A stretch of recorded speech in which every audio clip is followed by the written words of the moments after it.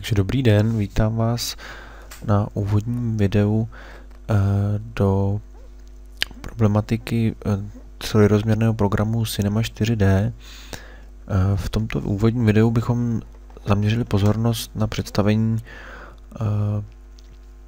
uživatelského rozhraní a těch nejdůležitějších částí, ze kterých se program Cinema 4D stává. Nejdůležitější uh, skupinou ikon vidíte v horní části a po levé straně. Ke všem, ke všem ikonám si povíme uh, zhruba jejich funkci a ukážeme si nejdůležitější aspekty práce v programu Cinema 4D. Základním oknem pro práci v programu je v centrální části. Eh, jedná se o perspektivní pohled, do, eh, ve kterém pracuji eh, v tomto rozměrném pracovním prostoru. Toto okno se ovládá pomocí těchto čtyř ikonek, kdy Jedna z nich slouží pro eh, posun, jedna z nich pro přibližování a jedna z nich pro otáčení. Čtvrtá ikonka eh, v pravém horním rohu potom slouží eh, pro překliknutí do dalších pomocných pohledů, z nichž implicitně jsou nastaveny vrchní, zprava a přední. Tyto pohledy slouží k tomu, že vidím uh, modelovaný objekt z pravouhle, z pravouhlého pohledu. Opětovným uh, zmáčnutím toho tlačítka v pravém horním rohu zase zvětšuju, zvětšuju ten uh, pracovní, pracovní okno. Základní Umístěvání objektů do pracovní scény slouží tedy pomocí této modré ikonky, kterou když podržím, tak eh, se mi eh, ukáže několik mm, základních geometrických útvarů, které můžu umístit do scény. V tuto chvíli můžu pomocí tady té horní ikonky otáčet scénou otáčení scény funguje také s tlačítkem uh, Alt a uh, s kliknutím levým tlačítkem myši. Osvojení klávesových zkratek pro manipulaci s 3D programem je poměrně zásadní, protože hodně, hodně šetří práci.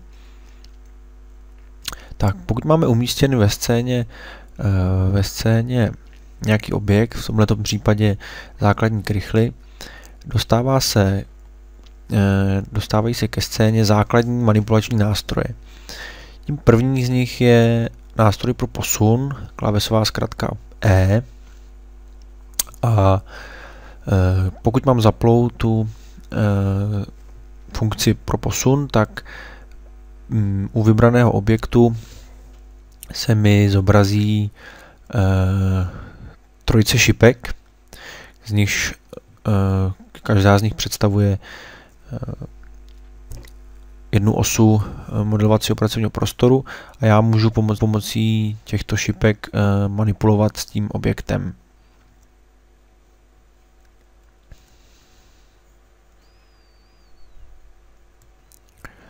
Uh, Kromě toho, že můžu manipulovat vždy tedy po ose Z, X nebo Y, eh, můžu pomocí zase těchto, této části eh, toho manipulacího kurzoru můžu manipulovat pomocí dvojice os. Takže když eh, budu chtít manipulovat v rovině Y a X, hýbu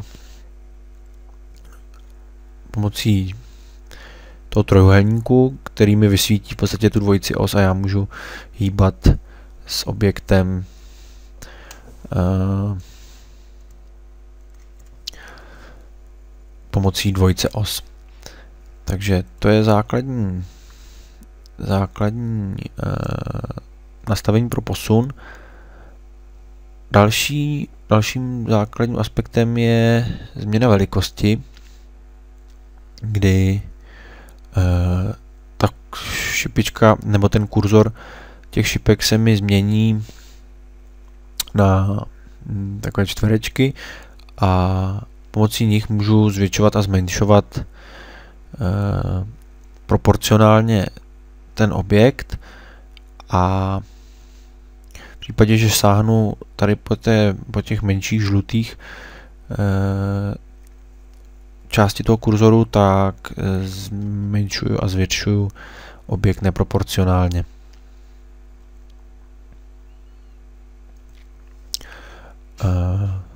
Další nástroj je potom pro eh, otáčení, kdy se mi kurzor změní na takovou trojici takových obručí barevných a pomocí nich můžu zase otáčet objektem. Vždycky jedna se mi, tu, kterou mám aktuálně vybranou, se mi vysvítí a pomocí nich pomocí ní můžu eh, objektem otáčet. Eh, vidíte, že se eh, objekt otáčí po desetinách stupňů. V případě, že budu chtít otáčet po násobcích, tak při otáčení zmáčknu klávesovou zkratku nebo klávesu Shift a objekt se mi otáčí po násobcích. To funguje samozřejmě i u všech ostatních dvou směrů, podle, podle kterých můžu objekt otáčet.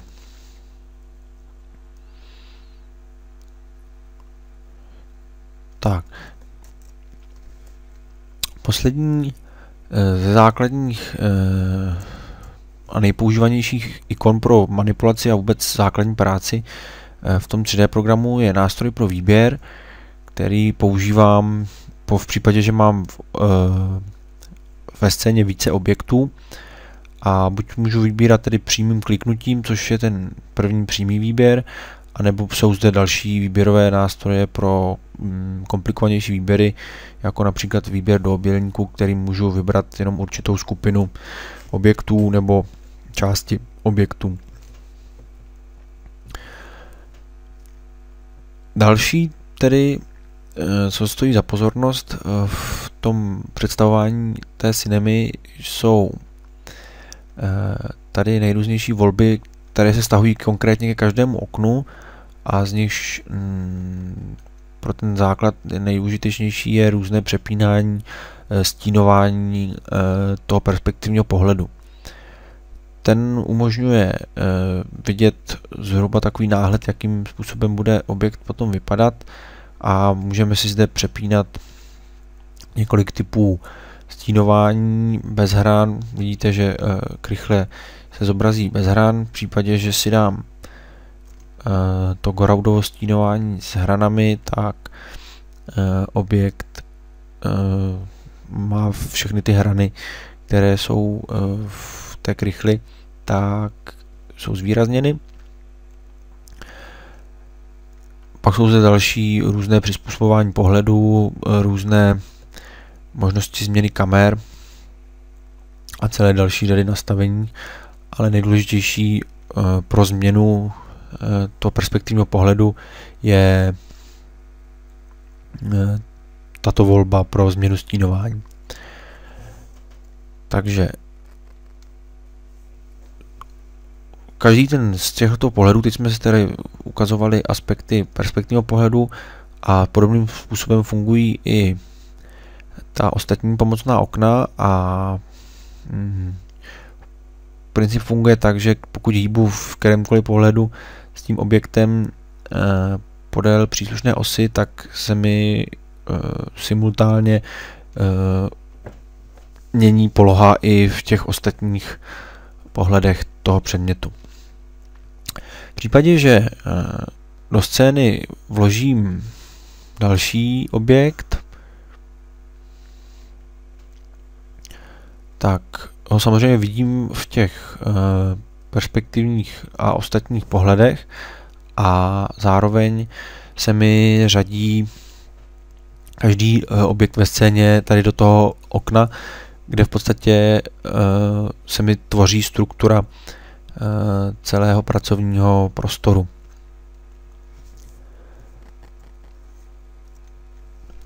Pod tímto oknem je okno voleb a zde se mi vždycky vytvoří uh, nebo ukáže nabídka uh, aktuálně vybrané funkce nebo, nebo objektu, takže v případě, že já vyberu nástroj pro rotaci, mám zde nabídku pro hm, nastavování rotace.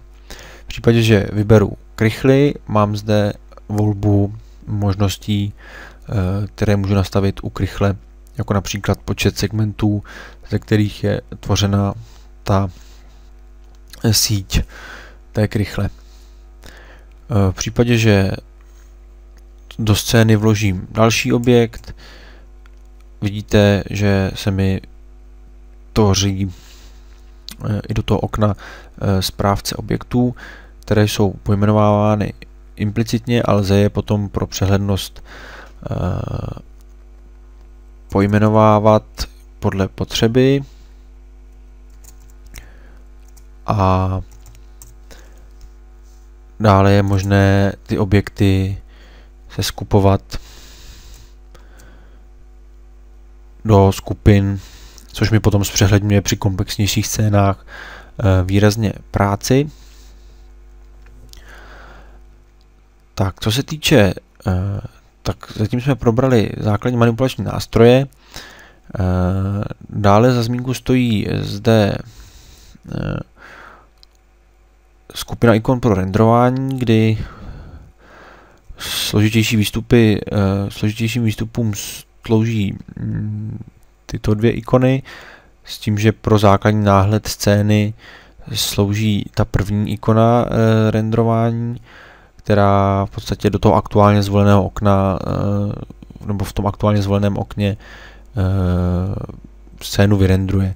Pokud bychom pracovali tady s předním pohledem a zmáčkli render, tak vidíte, že se vykreslí tento pohled, v případě pohledu vrchního se vykreslí i ten vrchní pohled.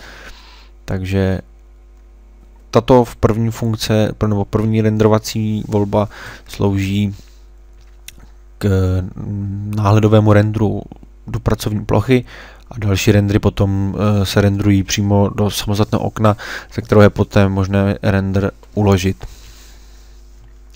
Tak následuje tedy uh, už zmíněná hm, volba tvorby nejrůznějších nástrojů, zejména geometrických, takzvaných geometrických primitiv, které jsou přesně definované geometrické tvary v podobě krychle, koule, válce a z těchto objektů lze potom vytvářet složitější tvary.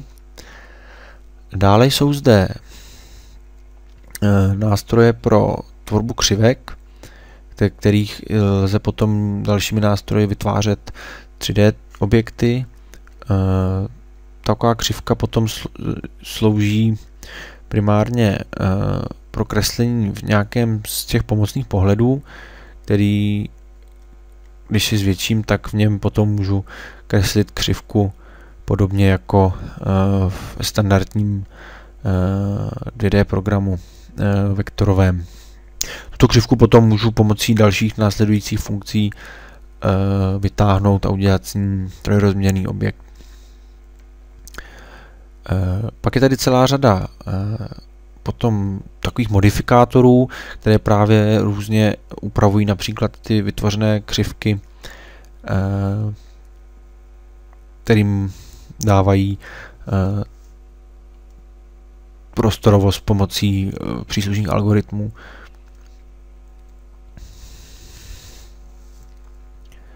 Tak, křivku si smažu.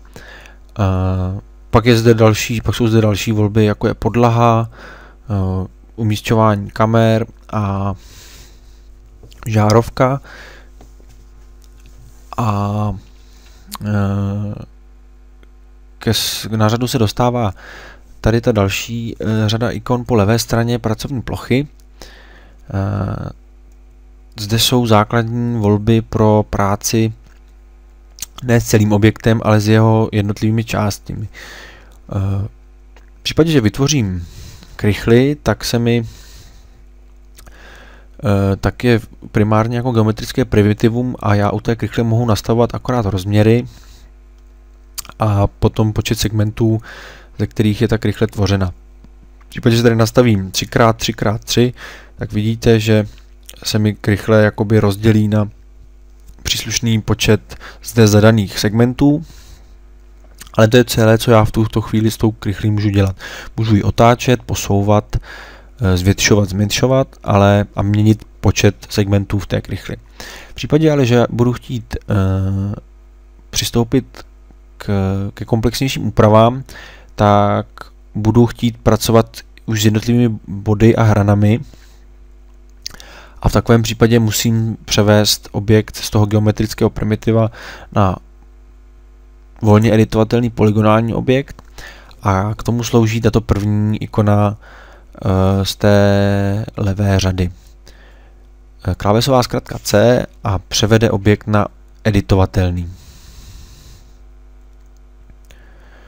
Vidíte, že se mi e, změnil, změnila náhled tak rychle a zde se tedy ke slovu dostávají e, zejména tyto tři ikony.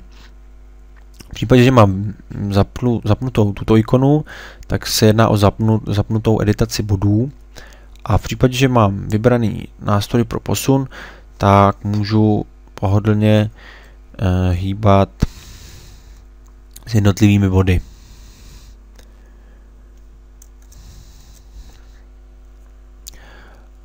Můžu si těch bodů vybrat i více pomocí klávesy Shift a hýbat potom se skupinou bodů. A dále můžu použít právě již zmiňovaný eh, složitější výběr a můžu vybírat třeba body takto pomocí lasa a poté měnit například jejich, eh, jejich polohu, po případě můžu měnit jejich velikost tím, že v podstatě nástrojem pro změnu velikosti jakoby škálováním měním mm, jejich velikost a vzájemnou polohu. E, v případě tady ikony pod tím se zapne editace hran a podobným způsobem jako lze editovat body, e, lze editovat s hranami té krychle původní. Takže opět zase eh, je možnost vybrat více hrán a hýbat s nimi hýbat s nimi potažmo je posouvat, otáčet a zase měnit jejich velikost. Tak poslední eh, z té skupiny volně editovatelných eh, nástrojů je eh, editace polygonů. Polygon je tedy ta ploška, která je ohraničena body a hranami a s tím polygonem zase samozřejmě můžu pohybovat, můžu s ním otáčet a můžu měnit jeho velikost.